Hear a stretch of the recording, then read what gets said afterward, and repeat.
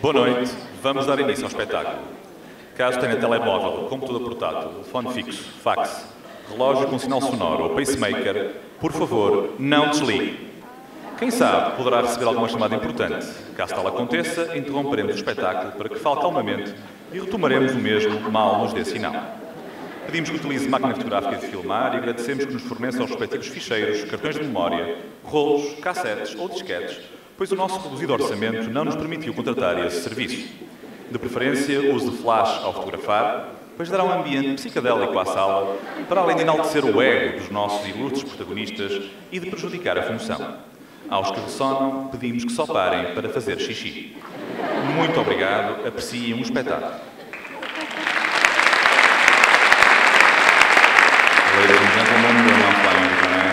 50 foot altitude and the temperature is 30 degrees. Our arrival will be in 5 minutes at Peña Airport.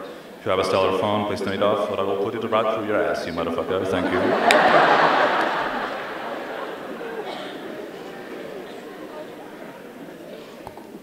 Condado portugalense, século XII, mais ou menos, é a Idade Média. Esta é uma idade das trevas, a era dos medos e das superstições. Uma era de castelos e guerreiros, reis e bispos, cavaleiros, peões e damas. Um verdadeiro xadrez, portanto. A esperança média de vida era de 35 anos. Quer dizer que, se houvesse segurança social, a idade de reforma seria aí pelos 34. A estas bandas ainda não tinham chegado o arroz, a batata e o bacalhau. A alimentação era feita à base de castanha. Pão de castanha, castanha de marisco, castanha de cabidela, punhetas de castanha, castanhas de ovos. Gastava-se tanta castanha que os magustos eram feitos com tremoços. Vejamos um arraial, uma feira na praça principal do Burgo. Tudo se vende ao ar livre. Não há frigoríficos, não há água canalizada, não há esgotos, não há luz pública à noite, não há eletricidade, não há troika. Mercadores em cada esquina, açougueiros e ciganas. Almocreves carregados de mercadorias, bordados da Flandres, rendas da Normandia, vidros de Veneza, cristais da Boêmia, sacas de grão e ressacas, ressacas da Boêmia. Vejamos as regateiras a apregoar.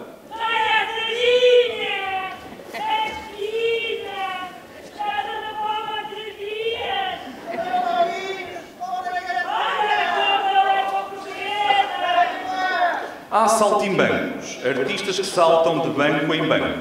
Do banco mau para o banco bom, do BES para o do BPN para o novo banco, deste para o BPP, etc, etc. Há miséria, mendigos andrejosos, mutilados, flagelados. O cortejo dos leprosos passa fazendo aviso antes de recolher a gafaria, seguido por frades e monges, os monges de Clister. A morte ronda e vai levando um ou outro.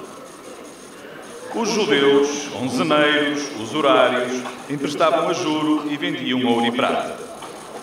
Por vezes, um homem de virtude retira-se para viver em isolamento, tornando-se um ermitão. Os criminosos comuns são acorrentados e expostos para exemplo do povo. Os menestréis entretêm, tocam e dançam. Alguns dominam artes ocultas, buscam a pedra filosofal. Uns poucos dizem até tê-la fumado à pedra. São os alquimistas. A medicina era incipiente. Fazia-se a evacuação dos humores nocivos através de clisteres, vomitórios, sangrias e fumigações. O físico tem a sua importância na sociedade, mas muitos recorriam ao mago. Os almoxarifes cobram impostos, portagens, são pagos pelo Estado, mas trabalham para a Via Verde. As barrigãs pululam. Os dentistas exercem na rua e também aparam a barba. O ensino é rudimentar. Venham estudar para a Escola de Santos, Escola de Santos, Mosteiro, São Domingos de Bragança. Jovem, deixaste o avance e a primeira classe. Anda a matar connosco. A lista na escola prática de Carrasco. uma carreira de futuro para ti e sem futuro para não importar. Há vários cavaleiros apiados. O falconeiro e a sua falcona servem as caçadas reais. O rei e o seu séquito vêm à feira. Afonso e o seu camareiro, Muma e suas aias e o truão. São Nicolau está no Andor. Todos desconfiam de todos. Impera a superstição. Todos acusam a vizinha de ser bruxa. São perseguições em massa. A queima das bruxas é um campeonato nacional.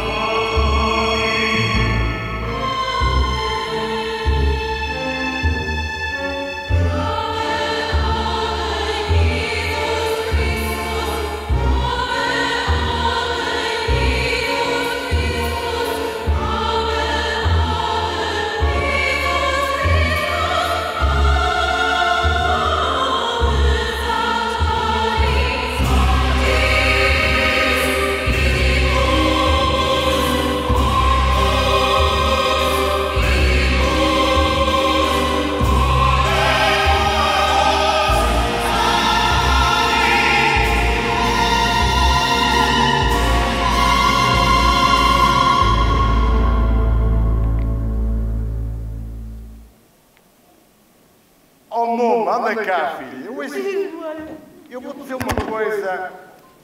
Eu nem sei como é que tens de dizer isto. Anda cá. Vai ser uma noite. Nem nunca sonhaste. Anda cá. filha. Eu sonhei, já sonhei muitas coisas. Não, mas esta nunca sonhaste. Sabes que eu tive um sonho? Opa, esquisito. Sonhei, sonhei com a morte. Com a morte? Sim, era um esqueleto, estás a ver? Credo. Parecia uma radiografia. Já. Parecia um técnico de raio-x. Oh, não tinha lá a cara da Angela Merkel. Não. Era muito mais feia, Muma. Fazia-me lembrar. Desculpa, fazia-me lembrar a tua mãe. Eu, eu, eu, eu não sei o que é que tu tens contra a tua sogra. Eu não tenho nada contra a tua, contra a tua mãe. Mas, mas ela chama-me Fuinha. Imagina que a minha mãe chamava Putinha. Gostavas? Gostavas? Não Gostavas? Chama-me Fuinha, não gosto dela. Pronto. Eu vou dizer... Ó senhora, a, a tal da morte, que lhe disse? Olha, disse que eu tinha algumas missões a cumprir. Senão vinha-me buscar daqui um ano. Virei já. Mas quais missões, meu rei? Olha, primeiro, lutar contra os castelhanos. Faz parte. Ir em cruzada para libertar a Terra Santa de Girasurém. Muito bem. Hein? Conquistar a Falpena aos marroquinos. Boa! É para fazer a rampa.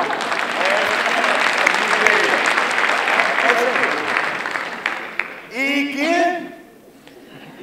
Buscar uma relíquia. A relíquia de Santana. Ai, e ele demanda de algo aí é que eu não percebi muito bem. Parece que é o Santo Grau, o Santo Grilo. Isso é bom. Ou lá que é. eu? Ah, isso eu não sei. Posso? O pior, o pior é que eu parti a minha espada. Eu vou-te dizer, ela também já não estava grande coisa. Onde ele não estava. Nem enterrava como antigamente. É só salvado. Eu também não acredito. Hã? Cala-te lá, é que falhou o rádio. Cala-te lá, ô engolidor da espada dos 300. Tenho que mandar consertar esta porra. É bem verdade. Todos os anos eu digo esta porra. Vou ao fogueira da cunha arranjá-la, cara. Olha, eu vou à praça comprar hortaliça para comer. Eu vou à rádio. Olha, tu vai para o caralho.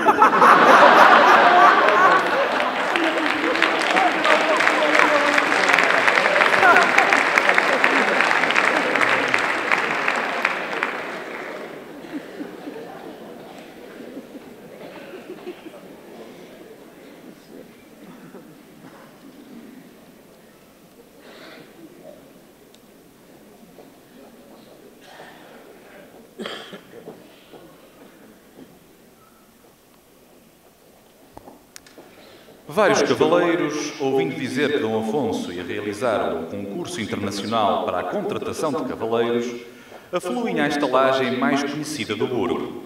Falamos da estalagem O Prepúcio Feliz, que mais não é do que um bordel, lupanar, alcoce ou prostíbulo.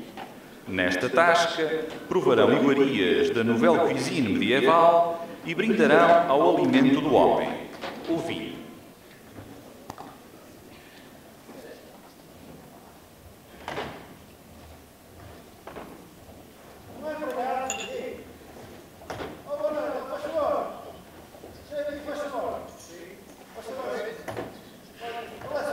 Eu sou um chico da cabina do Festival da Gravação.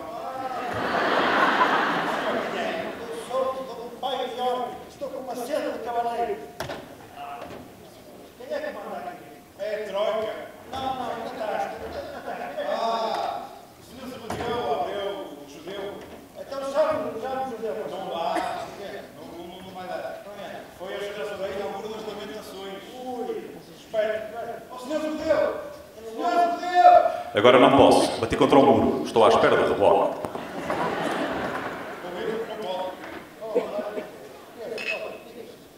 como é que o concurso da cavaleiro? Como é que vai ser?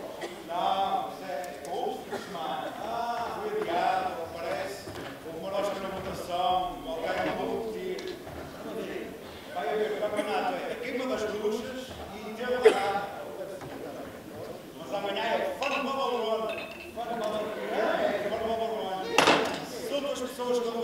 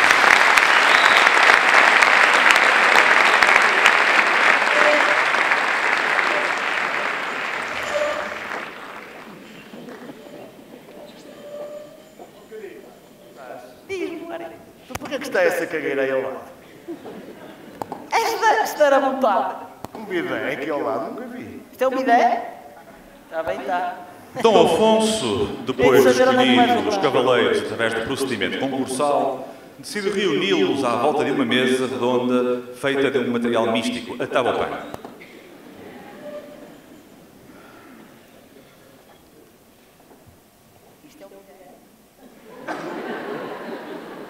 saber onde é que vão jogar. Mas para aí, está para tudo. Nem quero saber o que é que andas a fazer no lavatório. Por decreto real de Sua Majestade o Rei Dom Afonso, está aberto um concurso internacional.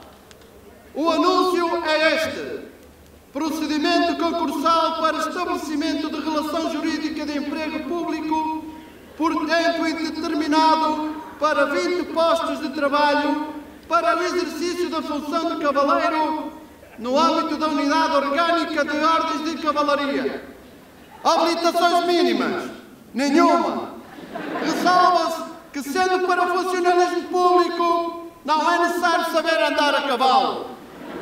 A escolha será feita por uma fórmula matemática de harmonização de escalas, a fórmula Crato, que pesará os seguintes critérios: prova teórica, prova prática, entrevista e tamanho da cunha. O júri é composto por Dom Afonso, Dona Muma e o camareiro.